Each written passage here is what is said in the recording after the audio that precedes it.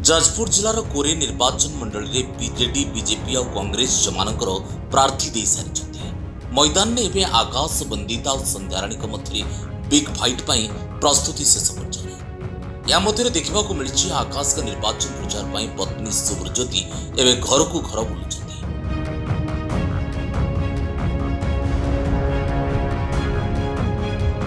ଦାସନଗର ପୌରାଞ୍ଚଳରେ ମହିଳା କର୍ମୀମାନଙ୍କ ସହ ଘର ଘର ବୁଲି କୋରିର ଅସ୍ମିତା ସ୍ୱାଭିମାନ ଆଉ ସମ୍ମାନର କଥା କହି ପ୍ରଚାର କରୁଛନ୍ତି।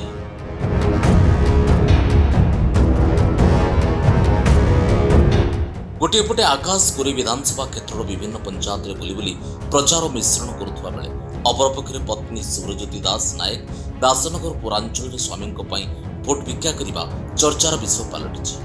ସୁବ୍ରଜ୍ୟୋତିଙ୍କ ପ୍ରଚାର ମଇଦାନରେ ଖୁବ୍ ସମର୍ଥନ ମିଳୁଥିବାର ମଧ୍ୟ ଦେଖିବାକୁ ମିଳୁଛି। କୋରିରୁ ଅଶୋକ ଦାସ ବ୍ୟାସନଗରରୁ ରେଣୁବାଳା ବଳଙ୍କ ରିପୋର୍ଟ ଯାଜପୁର ନ୍ୟୁଜ୍।